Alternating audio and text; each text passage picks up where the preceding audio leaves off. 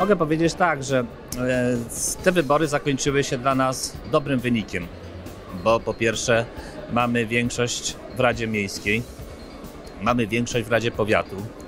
Nasi kandydaci na wójtów i burmistrzów w zdecydowanej większości osiągnęli bardzo ładny wynik, zbliżyli się do zwycięstwa, a jak wszystkim wiadomo, nie było nam łatwo wygrać, dlatego że również tu u nas w Dębicy, u nas w powiecie dębickim stworzyła się jakby taka koalicja e, antypisowska i to powodowało, że nam było trudno przekroczyć 50%, jeśli chodzi o kandydatów na wójtów i burmistrzów.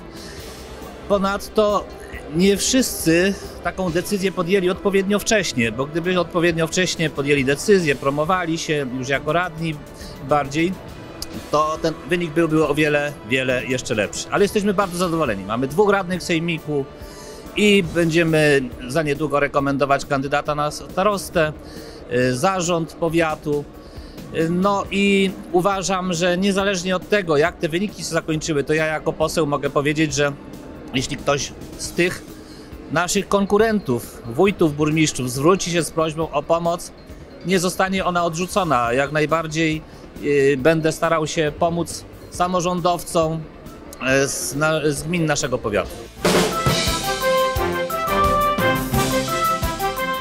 Ja, y, jeśli jest jakaś informacja, nowy program społeczny, jakiś gospodarczy wchodzi, y, zaproponowany przez rząd lub Sejm, informuję o tym wszystkich włodarzy, wysyłam na maila, przekazuję informacje, kto chce zwraca się do mnie o szczegóły i ja myślę, że zawsze droga jest otwarta, przecież to jest nasz wspólny powiat, nasze wspólne dobro.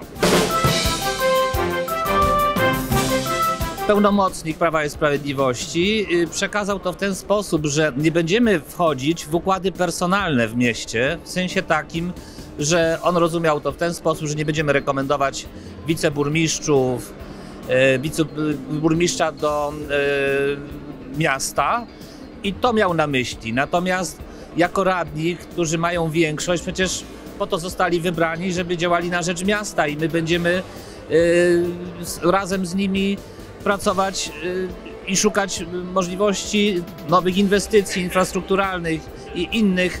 e, I tutaj niczego nie zamyka.